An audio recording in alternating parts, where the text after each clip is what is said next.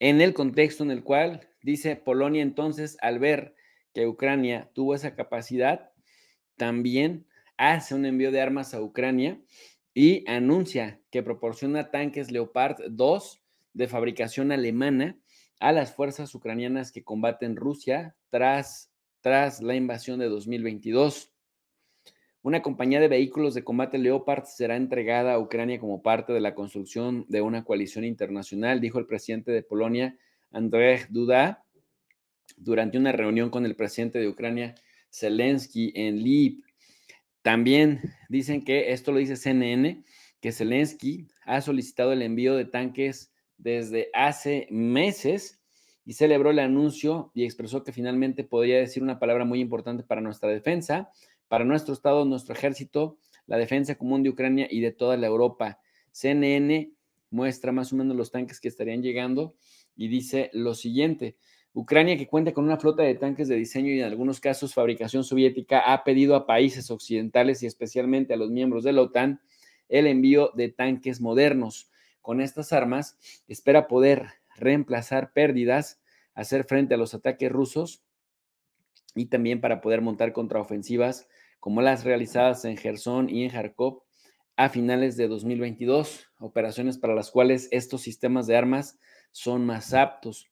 Pero aunque Estados Unidos, ojo con esto, Estados Unidos, Reino Unido, Francia y Alemania y muchos otros países han enviado numerosos sistemas de armas, entre ellos misiles antitanque, artillería propulsada y baterías antiaéreas, hasta ahora se han negado a proporcionar tanques, armas de naturaleza ofensiva, etc. Estados Unidos y Alemania incluso anunciaron el envío de vehículos blindados. Aquí, está, aquí tienen la nota. Incluso anunciaron el envío de vehículos blindados superficialmente similares a los tanques, pero que por diseño, armamento y blindaje cumplen otras funciones en el campo de batalla. Se trata literal de vehículos de combate de infantería Bradley y Marder respectivamente. ¿Qué les parece si vemos la nota que tiene preparada también Deutsche Welle, que lo publica a los cuatro vientos y dicen ellos felices de la vida? Pues ahora sí, agárrate Rusia, porque hasta Alemania va, va a mandar tanques de poder y Estados Unidos han tomado la decisión de enviar vehículos blindados a Ucrania. Como confirmó este viernes un portavoz del canciller Olaf Scholz, Berlín mandará 40 vehículos de combate de infantería Marder y un sistema de misiles Patriot para reforzar al ejército ucraniano. Esto último por petición expresa de Washington. Estados Unidos, por su parte, enviará blindados de infantería de tipo Bradley. La presión para que Alemania entregue a Ucrania más carros de combate y blindados ha crecido especialmente después de que Francia anunciara que enviará a Kiev blindados de exploración AMX-10. Ampliamos ahora con nuestro corresponsal político Andreu Jerez. Andreu, ¿hay más detalles del material militar que Alemania va a enviar a Ucrania? Hola Silvia, sí, el gobierno federal ha ofrecido este viernes en su rueda de prensa algunos detalles más de este nuevo paso para armar al ejército ucraniano. Como bien has apuntado, se trata de un batallón completo de carros de combate Marder, es decir, alrededor de unos 40 unidades de este tanque ligero con su correspondiente munición. También sabemos que soldados ucranianos acudirán a Alemania para formarse durante ocho semanas y esto les permitirá usar este tipo de tanque ligero de producción alemana en el campo de batalla. En cuanto al sistema de misiles Patriot, el gobierno alemán confirmó hoy que se enviará, que se enviará por eh, petición expresa de Washington. De hecho, Berlín ha reconocido que no tenía previsto cederlo a Kiev hasta que sí lo pidió Estados Unidos. Eh, todo este armamento llegará a las manos del ejército ucraniano a lo largo del primer trimestre de este año. Lo que no ha detallado el gobierno alemán es cómo se va a financiar la entrega de este material. Si con dinero de la Unión Europea, para ello hay un fondo, si con el pago parcial o total de parte, por parte de Kiev a través de Kiev a través de créditos o si se tratará de una cesión a fondo perdido del ejército alemán. Todos estos detalles, todas estas informaciones ha prometido el gobierno alemán que las hará públicas durante los próximos días o las próximas horas. Estaremos entonces pendientes. Andreu, ¿hay consenso dentro del gobierno de coalición alemán sobre cuál debe ser la política de envío de armas para el ejército ucraniano a partir de ahora? Es difícil apreciar consenso interno dentro del gobierno alemán y de sus tres partidos de coalición en este envío de armamento pesado a Ucrania. Los socialdemócratas del canciller Olaf Scholz han sido hasta ahora, sin ninguna duda, los más reacios a enviar tanques por el miedo expreso a convertirse en parte activa del conflicto y que esto arrastre a Alemania y a la OTAN a una guerra abierta con Rusia, como ha reconocido en varias ocasiones el canciller Scholz. De hecho, está bastante claro que el gobierno alemán ha acabado cediendo porque sus dos principales aliados, en este caso Estados Unidos y Francia han decidido enviar tanques de producción occidental.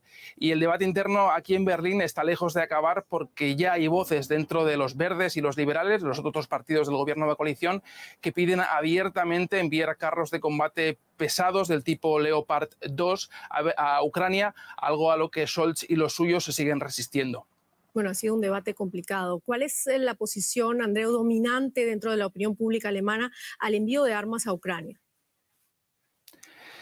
Si nos atenemos a las encuestas de intención de voto publicadas por la televisión pública alemana, se puede apreciar cierto cansancio entre la población. La última encuesta hecha pública esta semana apunta, por ejemplo, que solo un 25% de la población está a favor del envío de más armas, mientras que el resto de los encuestados cree que es suficiente o ha sido incluso se ha ido demasiado incluso eh, lejos incluso. Y esta encuesta fue hecha antes, por cierto, de que el gobierno alemán anunciase el envío de los tanques Marder que ha confirmado esta semana. Por ponerlo en perspectiva, el pasado marzo casi la mitad de la población apoyaba el envío de armamento pesado para el ejército ucraniano. ucraniano. Por tanto, vemos que la guerra y las consecuencias de, esta, de este conflicto están haciendo mella entre la ciudadanía alemana. Mm, muchísimas gracias, Andreu Jerez, por este análisis.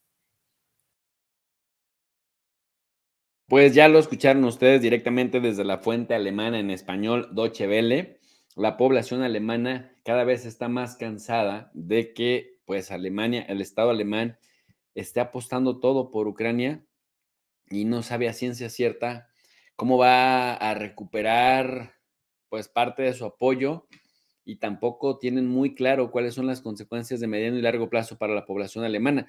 De tal suerte pues que, dice Deutsche Welle, los alemanes ya se están cansando, no ven con buenos ojos lo que hace su gobierno y eh, pues por otro lado, se les aumentan las cosas, se les aumenta el costo de la vida y nada más no ven cómo las ayudas que el gobierno alemán le hace a Ucrania se le regresen. Bueno, eso en el caso de Alemania.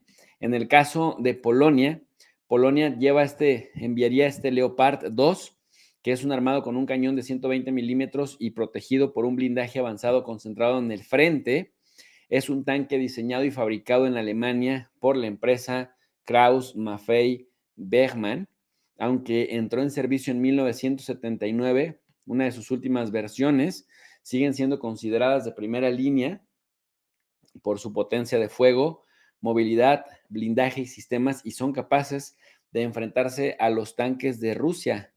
Prácticamente, prácticamente, eh, pues están mandando su propio arsenal para que los que vayan a pelear sean los ucranianos. Este Leopard 2 ha sido exportado por Alemania a numerosos países y utilizado en combate contra fuerzas irregulares en Afganistán, en los Balcanes y en Siria, también empleados ahí por Turquía, pero un eventual despliegue en Ucrania sería la primera vez que se enfrenten a tanques rusos como los T-72, T-80 y T-90. Polonia cuenta con una amplia flota de tanques Leopard 2, A4 y A5 que estaban en proceso de modernización según el sitio web de las Fuerzas Armadas de Polonia. Sin embargo, en los últimos tiempos, Varsovia parece haber optado también por actualizar a sus fuerzas con la compra de tanques M1 Abrams y surcoreanos K2. Dice la CNN en español que se desconoce cuáles son los modelos que Polonia entregará a Ucrania y si se concreta la operación.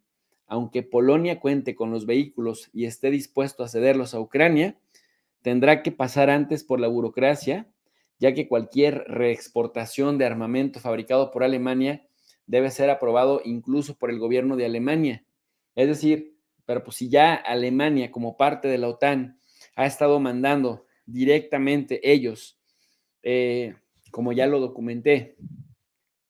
Armamento pesado, los Marder, a Ucrania, yo creo que no tendrá objeción en que Polonia, que ahora se encuentra reacio en contra de Alemania, pues mande estos Leopard 2, que son los que la mismísima Alemania le exportó a Polonia, pero con esta cláusula de que si Polonia los iba a reexportar, tendría que estar eh, haciéndolo únicamente con la vista, con el visto bueno, con el acuerdo de Berlín, de acuerdo literal con lo que se han estado ellos arreglando. Y finalmente, dado que Berlín cierra la nota de CNN, dado que Berlín ya aprobó el envío de los vehículos de combate de infantería Marder a Ucrania y que se ha negado a proporcionar sus propios Leopard 1 y Leopard 2, aún está por verse. Sin embargo, parece que se logrará dicha aprobación. Eso CNN. Ahora, en el caso de las fuentes prorrusas, como lo es en este caso Sputnik, y hablando nuevamente del tema de que la OTAN está casi de lleno en la guerra, dice España sigue apoyando a Kiev, ahora entrenará a más de 200 soldados ucranianos, actualización literal de hace dos horas. Dice casi, hace casi 11 meses del inicio del conflicto en Ucrania, un grupo de 225 militares ucranianos recibirá entrenamiento por parte del Ministerio de Defensa de España. Esto lo informó el gobierno de Pedro Sánchez. A través de un comunicado de prensa, las autoridades españolas detallaron que los soldados serán adiestrados en Toledo Training Coordination Center. Según el comunicado del ministerio, 198 son ucranianos sin experiencia militar previa, por lo que participarán en el módulo de instrucción básica de combate en la Academia de Infantería de Toledo. Este grupo será acompañado de siete efectivos que participarán en las labores de apoyo al contingente. Y acá publican el link de Twitter, en donde efectivamente el Ministerio de Defensa de España dice que más de 200 militares ucranianos llegan a España para mejorar habilidades técnicas de combate y manejo de armas en el programa de formación EUMAM Ucrania. Esta es la segunda rotación de efectivos bajo la dirección del Toledo Training Command y la coordinación de la Unión Europea. Ahí pueden ustedes observar algunas imágenes de ucranianos siendo entrenados en España. Otros 20 militares, dice Sputnik, participarán en el curso básico de familiarización con el sistema antiaéreo Hawk, ya que España ha enviado a Ucrania seis lanzadores de este tipo. Este otro grupo recibirá un entrenamiento de dos semanas de regimiento de artillería antiaérea 74 en el Cópero.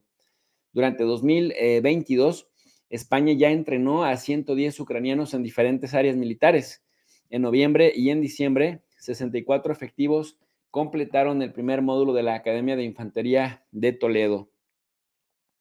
El Toledo Coordination Center está capacitado para entrenar a 400 militares ucranianos cada dos meses en diferentes programas como formación básica, tratamiento de bajas en combate, tiradores de precisión, actuación contra artefactos explosivos improvisados, desminado de zonas, empleo de armamento antiaéreo, entre otras. Esto dice Sputnik de la ayuda que le están brindando los españoles a Ucrania, entrenándolos. Y por acá se ven algunas eh, imágenes de que literal ya los recibieron ya los tienen, digamos, allí en, el Toledo Training Center, en donde vean ustedes, ya prácticamente están ahí formaditos. Y les dicen, ustedes van a ser ayudados por la OTAN en, representación de España y van, eh, literal, van a ser preparados les vamos a dar las herramientas necesarias. Vean ustedes aquí más imágenes para que puedan enfrentar a los ruskis. ¿Cuál es el problema, mi gente? ¿Cuál es el problema? El problema, el problema es que es gente sin experiencia militar. De 225 soldados que están entrenando, eh, eh, ucranianos que están entrenando en España, 198, de acuerdo a esta misma nota, no tienen ninguna experiencia, ninguna experiencia militar.